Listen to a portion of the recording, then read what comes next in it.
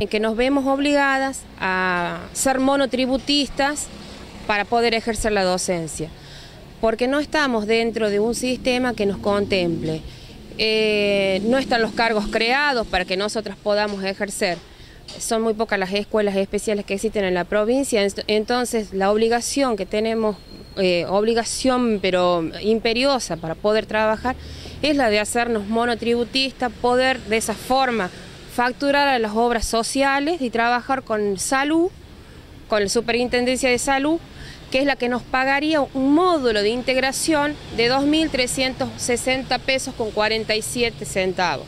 Pero quedan fuera del sistema educativo. Estamos fuera del sistema educativo. Ahora, se han hecho reclamos a gremios, se ha hablado, esto digamos está hablado por ley nacional, digamos que ustedes deben estar incorporados al sistema. Las leyes están eh, amparándonos siempre.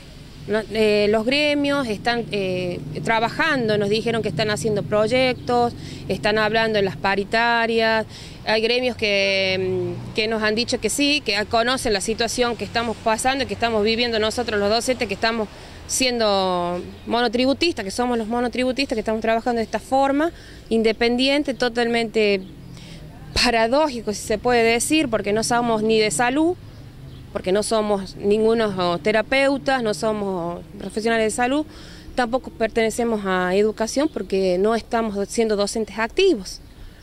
Este, quienes, nos pagan son los de salud, que son los, desde Superintendencia de Salud, quienes eh, tienen un módulo que no, no sufre ningún o no, no tiene ningún incremento. Ese módulo no aumentó desde hace un año eh, 2.300 pesos, del cual nosotros tenemos que pagar nuestro monotributo, que vale 300, casi 400 pesos, hay aumento 100 pesos más, desde ahí también hay que dar una parte también a los institutos, que los institutos son los que nos toman, porque tenemos que empezar a vernos obligadas también a pasar el currículum para ver si podemos conseguir trabajo y ejercer la docencia como educadoras especiales para que el niño que está integrado en las escuelas comunes pueda transcurrir el currículum mediante las adaptaciones que nosotras hacemos. Las leyes que dicen que nosotros somos una figura de apoyo, eso es lo que dice la resolución 1338, que habla del apoyo que requiere el niño para ser integrado. También, a su vez, la Ley Federal de Educación que dice, la Ley Nacional, perdón, dice que eh, la educación especial es una modalidad dentro del sistema pero como toman a las escuelas especiales en general, no así a los profesores de educación especial, que no solamente se pueden desarrollar dentro del ámbito de la educación especial, sino también en las escuelas comunes, porque lo que mayormente se está dando ahora son las famosas integraciones.